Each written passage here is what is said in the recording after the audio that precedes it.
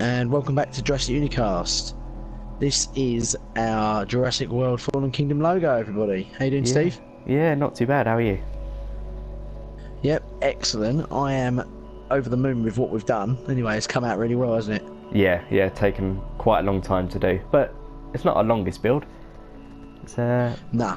the T Rex probably took about two and a half to three hours to build, um, and then the lettering, what was that? A Couple hours? Yeah, it took me about a few hours. Yeah, Yeah. we've adjusted it slightly because we've realised that the, the lettering to get the detail was you needed it to be a little bit bigger. So it's a slightly wider than the actual logo would be in terms of the banner. But it it looks quite good. I'm quite happy with how it looks. Yeah, Um, but yeah, this is the uh, start of our future project. The yeah, this is the, the main logo for it. So what we're going to have to um, do in future, I think after we've done this, um, we've got some finishing touches to do. It's pretty much finished now already.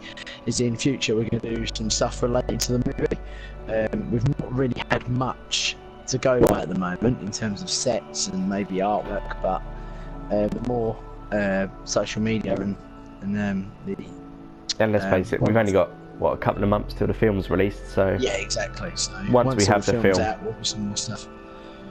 Yeah, so it's going to be a mad rush to build. But what we do is we'll we'll set up like a few videos where we'll show you us building the stuff, and then like the finished product. We might do a few time lapses for the really big builds and Yeah, stuff like that. Yeah, so definitely.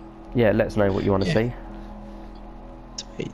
So if you enjoyed the video, please give it a thumbs up, and if you haven't already, please subscribe to our channel for more. I'm James, And I'm Steve. and uh, thanks for watching, guys. Cheers. See you later.